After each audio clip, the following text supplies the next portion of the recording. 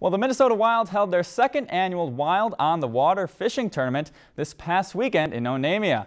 After watching the event, it's safe to say that the players and coaches are much better off on the ice than on the water. The coaches team of Bruce Boudreau and company were able to take home the top prize. Soon, attention will turn back to the ice as the Wild try to break past their current streak of getting bounced in the first round the past three seasons.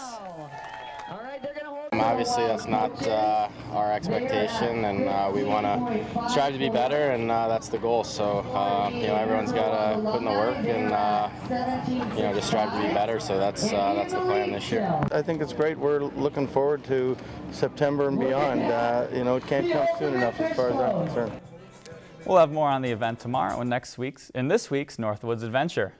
If you enjoyed this segment of Lakeland News, please consider making a tax-deductible contribution to Lakeland PBS.